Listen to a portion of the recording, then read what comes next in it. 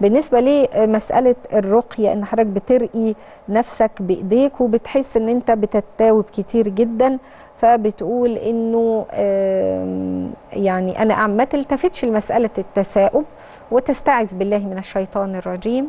والنبي عليه الصلاة والسلام كان إذا أوى إلى فراشه نفث في كفيه إنه بيقرأ آية الكرسي والمعوذات وآية الكرسي ويقرأ المعوذات قل هو الله أحد قل أعوذ برب الفلق قل أعوذ برب الناس في كفه ويمسح بها وجهه وما بلغت يداه من جسده.